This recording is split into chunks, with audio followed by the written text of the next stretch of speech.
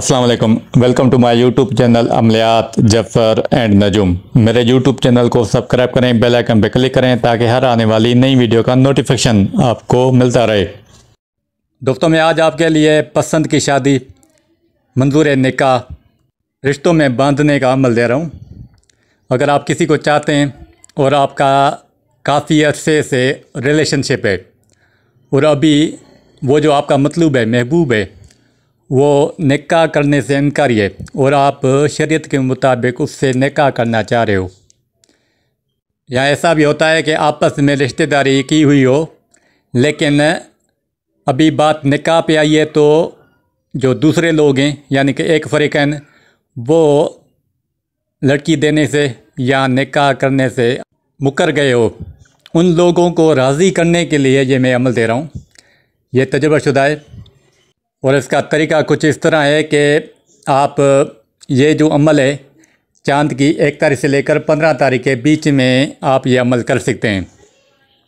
करना क्या है कि जो आबाद मस्जिद हो, यानी कि जहाँ पे नमाज़ मामूल के मुताबिक पाँच वक्त पढ़ी जाती है, आप उधर जाएँगे और वहाँ से मिट्टी हासिल करेंगे, खाक।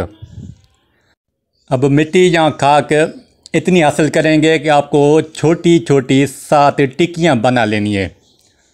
और जो मैं कुरान पाक की आपको आयात दे रहा हूँ, ये आयात आप उस टिक्कियों के ऊपर लिखेंगे। ये जो अमल है आपको जुम्मे के दिन जोहरा की साथ में करना है। जब जुम्मे का दिन आए, चाँद की एक तारीख से लेकर पंद्रह तारीख के बीच में, आप अपने अमल की जगह पे जाएँगे जहाँ पर आप अमल करते हैं। आप पाक साफ़ हों, बावजू हों किबले तरफ़ रुक करके आप ये मिट्टी की सात टिकियाँ लेंगे और उसके ऊपर ये कुरान पा की आयत सूर्य हज की आयत नंबर सत्ताईस, आपको ये तहरीर करनी है। आपको ये आयत पाँच मरतबा लिखनी है और उसके नीचे हरूफ वाव लिखेंगे। फिर उसके नीचे आप अपना मकसद लिखेंगे। फ़िलाँ बिन फ़िलाँ शादी करे या निका करे, फ़िलाँ बिन फ़िलाँ से। पहले उस लड़की का नाम आएगा जिससे आप निकाह करना चाह रहे हो। उसका नाम फिर बिनते, फिर उसकी वालदा का नाम। फिर लिखोगे मकसद। फ़िलहाँ बिन फ़िलहाँ शादी करे, यानी आप मकसद लिखोगे। निकाह करे, शादी करे फ़िलहाँ बिन फ़िलहाँ से। फिर अपना नाम माँ वालदा लिखेंगे।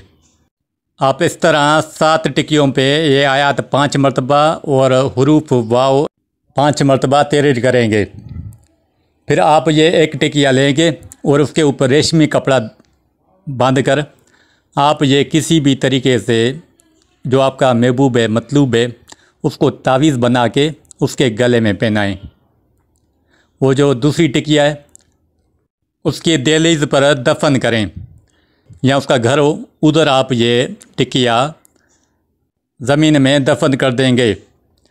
और जो पाँच टिक्कियाँ हैं बाकी आपको करना क्या है कि उसको हर जुम्मे के दिन एक टिकिया लेंगे और उसको पानी में घोल कर वो जो पानी है, आपको मतलूब की राह गुज़र में पानी बहा देंगे।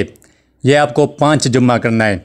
अगर आप उसके गले में तावीज़ नहीं पहना सकें, या उसकी दहलीज में, या उसके घर में तावीज़ दफन ना कर सकें तो ये टोटल आपको सात टिकियाँ हो जाएँगी। फिर आपको हर जुम्मे पे एक टिकिया लेनी है और उसको पानी में घोल कर उसका पानी बनाकर उसकी राह गुज़र में आपको ये पानी बहा देना है। ये अमल आपको सात जुम्मा करना है।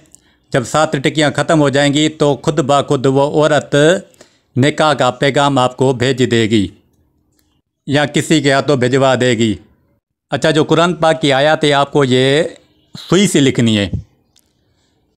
फरहाल ये आसान अमल है। ये अमल की पूरी तरतीब दी। अगर कोई बात आपको समझ ना आए तो कमेंट्स बॉक्स में सवाल करें। मैं इसका जा दूँगा जो भी इस अमल को करेगा, सौ फ़ीसद दुरुस्त और मुजरब आएगा अल्लाह हाफिज़।